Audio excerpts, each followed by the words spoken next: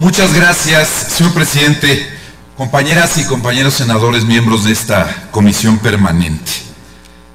Como lo expresé al inicio de la presentación de este punto de acuerdo que me parece fundamental, por razones que si ustedes me permiten vamos a esgrimir en este momento, creo que es un tema de obvia y urgente resolución de muy urgente resolución, no, no solo la comisión permanente, es de urgente resolución en el país el tema del bullying. El bullying o la violencia o acoso escolar, como se le conoce, que ha utilizado este anglicismo porque de manera muy sencilla lo refiere y lo refleja, ha atacado sin duda y afectado principalmente a niñas y a niños de entre 12 y 15 años sin que sea privativo específicamente esta edad, pero que las cifras reflejan que esta es una edad en la que tenemos que poner especial atención para atender esta situación. En la mayoría de los casos se cuenta con el silencio y la complicidad del resto de la comunidad escolar a veces en el aula, a veces en toda la escuela, e incluida a veces la participación de los maestros. Y por eso resulta un tema fundamental. Sabemos que este tema, según los datos que se arrojan al respecto, afecta a 18.7 millones de alumnos. 44.5% de los estudiantes admite haber vivido al menos una experiencia de violencia verbal, psicológica, física y ahora hasta a través de las redes sociales. 40% declara haber sido víctima de acoso, 25% de insultos y amenazas y el 17% declara haber sido golpeado. No me parece un tema menor, al contrario, esto está reflejando la urgencia de atenderlo y de atenderlo como podemos hacerlo los mexicanos, no solo desde el punto de vista legislativo. Aquí en el Congreso hay seis leyes, cuatro en el Senado, dos en la Cámara de Diputados que refieren al tema. Aquí hemos hecho un esfuerzo por reformar la ley de educación que hoy contempla aspectos necesarios para enfrentar este problema, pero tiene que ser una simbiosis, porque también tiene que ir acompañado de la política pública necesaria para hacerlo efectivo. Y no solo eso, por eso decidí venir a hacer una adición a esta tribuna, porque creo que lo más importante es que si hoy se han dado casos, estos no queden impunes y tenemos que encontrar el mecanismo para darle seguimiento a los casos que se han suscitado, a los más graves, porque esto nos va a permitir determinar si la ley es suficiente o si no, si tenemos que legislar a nivel nacional, si tienen que legislar los estados de la República o qué se tiene que hacer.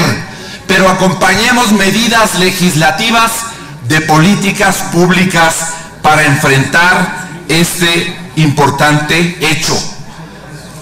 Les pido que por un minuto se pongan en los zapatos de una madre o de un padre que ha perdido a un menor, niña o niño de 12 años. Y piensen claramente, ¿qué es lo que quisieran que ocurriera después de un hecho tan lamentable? Sin caer por un lado en las exageraciones y satanizar algunas conductas de niños y maestros, pero no permitiendo que algunas de ellas queden impunes. No se vale. No se vale que la respuesta a una madre afligida sea perdón, estaban jugando, esto es un juego.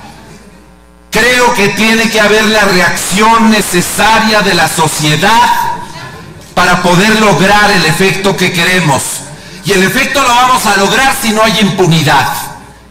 Bueno, pues aquí tenemos los casos. Que esta comisión permanente encuentre el mecanismo adecuado para darle seguimiento a estos casos y que no queden impunes y que ello nos permita saber el alcance de la ley. Ya las comisiones de educación en el Senado y en la Cámara de Diputados están haciendo un esfuerzo a través de foros que han convocado. Apoyémoslos, sigamos adelante con ese trabajo que parece importante, pero en este tema en particular de los hechos ya acontecidos, la sociedad no está esperando como respuesta que hagamos un foro. La sociedad no está esperando como respuesta que convoquemos especialistas. La sociedad está esperando una respuesta concreta con dos tipos de acciones. La primera, legislativa, si acaso hace falta algo que reformarle a la ley, y si hace falta, hagámoslo de inmediato. Eh, eh, eh, pronunciémonos porque las comisiones en ambas cámaras resuelvan las seis iniciativas que tienen pendientes. Y segundo lugar, el seguimiento específico a este caso y a este hecho tan lamentable que se ha dado en Tamaulipas y que costó la vida a Eleazar Gómez en Ciudad Victoria, sirva de guía para que no queden impunes ningunos hechos relacionados con este tipo de violencia. Finalmente, este es un tema de educación y de cultura.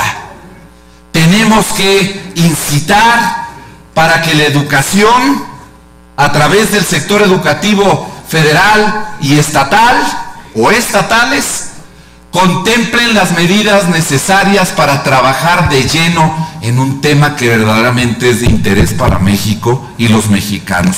Por ello, presidente, haremos una redacción conjunta que por obvio de tiempo ya no leo en esta tribuna, pero que contempla esta petición de su servidor, que con los otros puntos de acuerdo que se habían presentado para hoy y que algunos de ellos no habían sido considerados de urgente resolución, se sumen a uno solo, con la voluntad política de todas las fuerzas aquí representadas. La voluntad del PRI, de mi grupo parlamentario y del Senado queda manifiesto en esta intención de en un tema tan delicado como este no politizarlo, sino hacer un esfuerzo conjunto por salir a darle una respuesta de solución a México y a los mexicanos. Es cuanto, señor presidente.